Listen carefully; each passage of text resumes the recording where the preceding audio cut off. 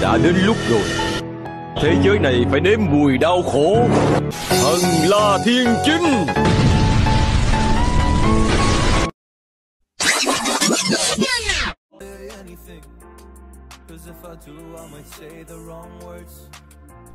Hello xin chào các bạn, chào mừng các bạn đang quay trở lại với kênh của mình nha. Và hôm nay chúng ta lại tiếp tục chơi vị tướng Hayate các bạn ơi với bộ trang phục vĩ diệm ha và khi mà mình, mỗi lần mà mình đánh cái vị tướng Hayate này các bạn, và vị tướng Airi cũng vậy nữa, khi mà mình đánh hai vị tướng này khiến cho mình liên tưởng đến một cái bộ phim hoạt hình mà bản thân mình cực kỳ là yêu thích luôn, đó chính là bộ phim Naruto ha. Và một trong những cái nhân vật mà nó có nhiều cái câu thoại hay và khá là ngầu ở trong phim Naruto, đó chính là nhân vật Nagato các bạn ha mình cực kỳ là thích cái vị tướng này, mình cực kỳ là thích cái nhân vật này luôn. Và gắn liền với nhân vật Nagato đó chính là cái chiều thần la thiên chinh ha cực kỳ là ngầu. Uh, xóa sổ một vùng rộng lớn cũng và khiến ta mường tượng đến chiêu cuối của Hayate ha. Có một cái lượng sát thương khủng khiếp ở một cái phạm vi nó cũng tương đối là rộng. Ok, đầu game thì tâm sự với mọi người một tí về cái sở thích của mình thôi ha. Còn bây giờ chúng ta sẽ quay lại với trận đấu ngày hôm nay của chúng ta nha. Chúng ta vừa có được cái mạng đầu tiên của anh chàng Van Heel Rất là tuyệt vời các bạn ơi. Van Heel là một trong những cái tướng vị tướng có khả năng khắc chế tốt vị Hayate ở giai đoạn đầu và cuối game luôn. Cho nên là cực kỳ khó chịu khi mà chúng ta phải solo kèo phải đi đường đối đầu với anh bạn Van Heel và đặc biệt là nếu mà trong Van Heel chắc tay thì sẽ rất là khó đánh bạn ơi. Liên tục là những pha trao đổi chiêu thức từ hai bên ha. Nhưng mà Van heo né rất là ghê các bạn ơi. Hầu như là chủ phi tiêu của mình nó không trúng bạn Van heo luôn. Bạn Van heo canh rất là chuẩn cái thời gian mà hồi chiêu một của mình ha. Và thực sự phải nói là anh ta có ngón tay cái phía bên tay trái rất là tuyệt vời và cực kỳ linh hoạt ha. Chúng ta đang có cho mình cái cấp độ 4 nhưng anh ta chỉ có cho mình cái cấp độ 3 Anh ta làm tròn được rồi. Tốc biến bỏ đi, chúng ta tốc biến đuổi theo Và mạng thuộc về cho chúng ta thôi. Chạy đằng nào nữa bạn Van heo ơi? Tiện đường công tác thì chúng ta dọn cái đàn quái ở khu vực đường giữa các bạn ơi. Sự xuất hiện của Liliana ha. Chúng ta không muốn bị mất máu trong tình huống này chúng ta hết chiêu thức rồi. Cho nên là chúng ta phải lui về cái đường của mình để farm. Và các bạn ở giai đoạn đầu game này các bạn đừng có nên lãng phí những cái nguồn tài nguyên về lính uh, đang nhân cao như thế này nha. Tại vì cái nó mang cho các bạn một cái lượng tiền rất là đáng kể. Các bạn có thấy các bạn thấy là mình ăn một mạng của bên heo chỉ có 150 vàng thôi. Trong khi đó các bạn dọn một đàn quái các bạn cũng nhận được đâu, đâu đó khoảng tầm 150 vàng. Cho nên là một cái đàn quái nó tương đương bằng một mạng của chúng ta hạ được ha. Cho nên là các bạn phải cần phải tận dụng tối đa cái nguồn lợi từ quái để đường lên nha.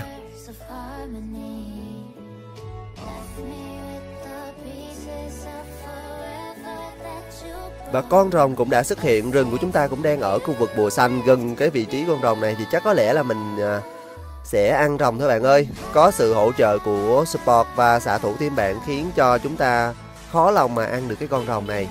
Nhưng mà rừng của chúng ta đang lên, rừng của chúng ta đang lên các bạn ơi nào nào, nhanh nào, rừng ơi không lên là mất rồng đấy, không lên là mất rồng đấy. Rồi, rừng không có chừng trị luôn, con rồng đã trở ra, Guido đã lao vào, anh ta bị biến cốc, hóa cốc đằng kia, leo lên người của Van Heo, đó chính là vị trí của Aya. Van Heo không còn nhiều máu nữa, buộc phải bỏ chạy. Anh ta bật cho mình cái quả cầu băng xương Detra đã tới, bật cho mình cái chiều cuối, Van Heo vẫn đang bị dí. Và người dí được Van Heo chỉ có thể là chúng ta thôi, mạng mang thuộc về cho chúng ta ha. Đằng này thì Aya đang phải chạy, không còn nội tại sốc nhỏ thì không thể nào chạy được trong tình huống này. Scoot đã tới nhưng Scoot làm gì trong tình huống này đây? Chúng ta có ba người bật cho mình cái chiêu cuối rồi lúc lui về nhẹ thôi Scoot ơi. Ok và vừa rồi chúng ta vừa có được một cái pha comeback thắng lợi ha, chúng ta hạ được hai thành viên của team bạn và mang về cho chúng ta tổng cộng là 4 điểm hạ gục rồi các bạn ơi. Cũng tương đối là xanh rồi đó, team chúng ta là 8 mạng trong khi chúng ta được 4 mạng ha.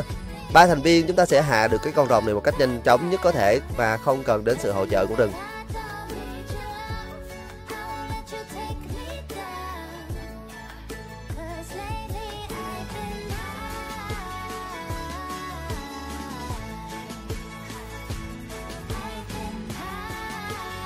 Và đây là cái giai đoạn giữa game chúng ta bắt đầu nhận được cái sự bảo trợ đến từ vị trí của support Kido ha. Giai đoạn này thì Kido bắt đầu đi theo chúng ta rồi nha. Nhận thấy được sự nguy hiểm khi có sự xuất hiện của Scott nha. Aya leo lên đầu Scott rồi, Scott đập tường, Liliana cũng đã tới. Đằng này thì Kido đã bị hạ. Đây là cái thời gian mà chúng ta có thể phát huy được tác dụng của mình. Tần La Tiên Trinh hạ được hai thành viên của team bạn. Chúng ta rút lui nhẹ nhẹ trong cái pha này và ba tổng cộng là có ba thành viên của team bạn đang đã bị phải nằm xuống nha đằng này thì Rat cũng mở chế độ truy sát và truy sát được con mồi đó chính là Van heo ha mất cái chiều cuối và tóc biến các bạn ơi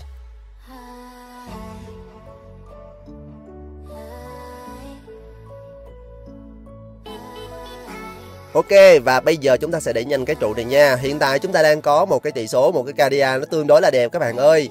602 rất là xanh nha. Ở phút thứ năm chúng ta có được 6 điểm hạ gục rồi, Cực kỳ là tuyệt vời. Và đây là đã đến lúc rồi cả thế giới phải gánh chịu nỗi đau nếu mà để cho hai gia tê xanh. Ok, thôi nó đùa cho nó vui thôi chứ không có gì đâu các bạn, chỉ hơi xanh tí thôi mà. Chứ tầm này mà hai thành viên của team bạn bu vào đập là lên dĩa ngay á.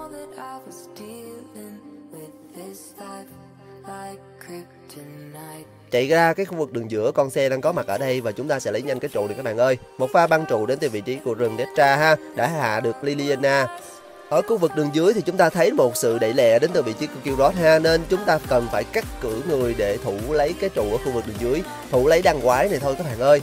Tranh thủ thời gian này chúng ta có thể đi farm và vì thời gian này là cái thời gian mà chúng ta cần phải nhanh chóng kiểm soát cái khu vực đường tà thần vì khoảng tầm 14 13 giây nữa thôi, con tà thần sẽ xuất hiện và đây là cái khoảng thời gian mà chúng ta phải bắt buộc có mặt ở khu vực đường tà thần để tranh chấp bù lại tà thần các bạn ơi.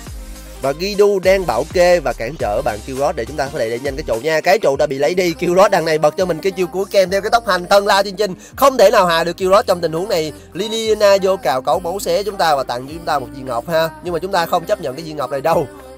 Đừng có thấy trai đẹp là tặng quà là mình không thích đâu đó nha.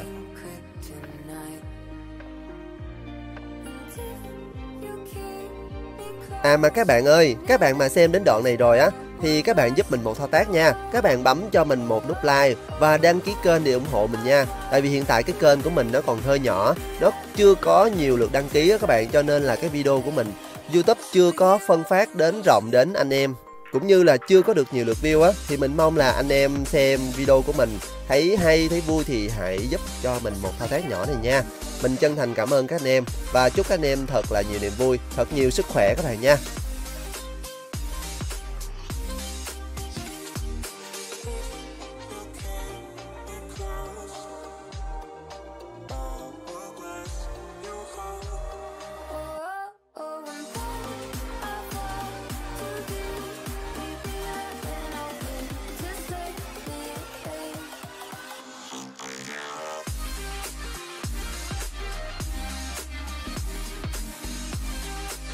Nhìn xuống khu vực đường dưới chúng ta thấy một sự đẩy lẻ đến từ vị trí của người cá ha. Và con tà thần còn 19 giây nữa xuất hiện. Đây là cái thời điểm mà chúng ta có thể đi săn người cá. Bật chế độ đi săn thôi nào các bạn ơi.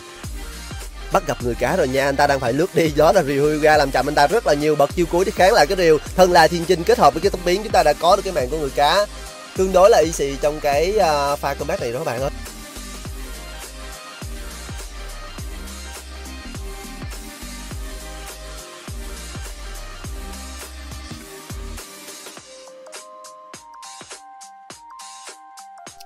Ok, con tà thần đã xuất hiện, chúng ta sẽ ép nhanh cái đàn quái này lên. Sau đó chúng ta sẽ về lên để ăn cái con tà thần thôi anh em ơi. Anh em đừng mãi mãi lo đánh nhau nha, anh em nên nhớ là ở mùa 20 này những cái mục tiêu lớn như tà thần và rồng nó cực kỳ là quan trọng luôn cho nên em hãy dành ra tí thời gian để ăn rồng và tà thần ha.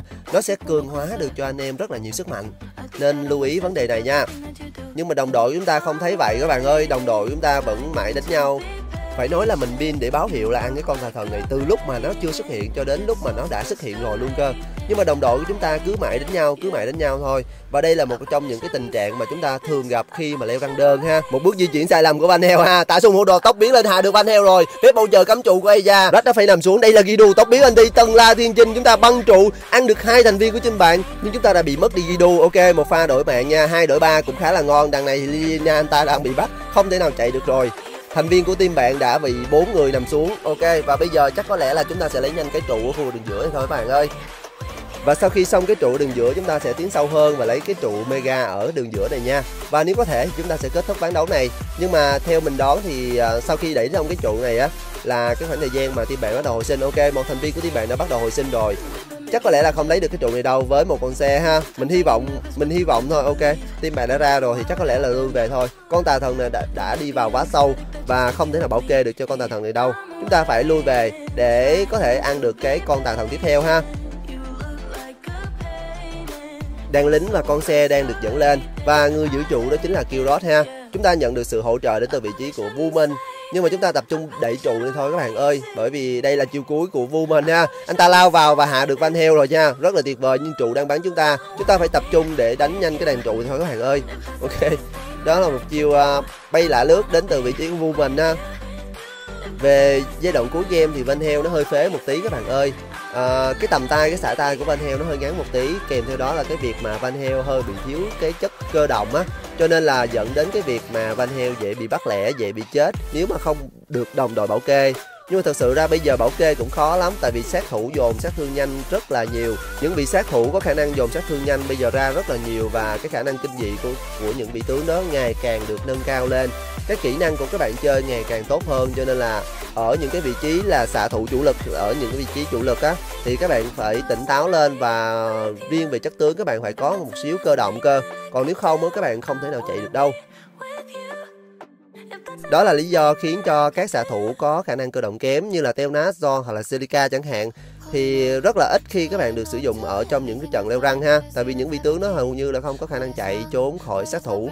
Những sát thủ có khả năng sốc sát thương cao và một lần nữa chúng ta bắt gặp được một pha đẩy lẻ đến vị trí kêu gót ha. Anh ta bị làm chậm bởi Ryuga ta bật cho mình cái chiêu cố quay lại và chém chúng ta dùng cho mình cái thần la thiên chinh và kết thúc được anh chàng kêu một cách dễ dàng.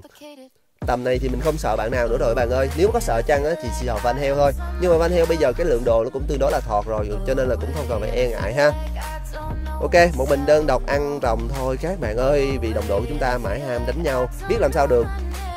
Chúng ta muốn thắng một trận game này thì bắt buộc chúng ta phải uh, hy sinh cho đồng đội chúng ta. Chúng ta, đồng đội chúng ta mãi đến nhau. Chúng ta phải hy sinh để dành tí thời gian để ăn rồng ha. Ở mùa 20 này, đấu sĩ đang được nâng cấp lên rất là mạnh. Các bạn ơi, chẳng hạn như Vũ Minh trong trận đấu này, anh ta lao lên và kết thúc được Liliana. Cực kỳ là dễ dàng. Mặc dù rất là trâu bò, nhưng mà cái lượng sát thương của Vũ Minh nó không hề nhỏ đâu các bạn ơi. Mặc dù lên đồ tăng, nhưng mà cái lượng sát thương nó cực kỳ là kinh dị. Có thể kết thúc được một chủ lực team bạn ha con tà thần đã xuất hiện nhưng đồng đội của chúng ta không một ai nghe lời chúng ta hết. Các bạn ơi, bắt buộc chúng ta phải nghe lời đồng đội của chúng ta mà thôi. Đang có một pha đánh nhau và Squid là người đầu tiên bị hạ. Cá kích hoạt chiếc cuối ai da trên đầu, anh ta quậy chết được woman rồi nha. Nhưng mà đây là cái giá mà hai thành viên của team bạn phải trả thôi. Thần la thiên chinh kết hợp giết được hai người. Ok, và ván đấu ngày hôm nay mình sử dụng Hayate liên tưởng một xíu về bộ phim hoạt hình Naruto cũng đã kết thúc tại đây rồi. Cảm ơn các bạn đã theo dõi video. Xin chào và hẹn gặp lại các bạn trong những video lần sau. Nhớ tặng mình một nút like và đăng ký kênh để ủng hộ cho kênh của mình nha. Xin chào các bạn.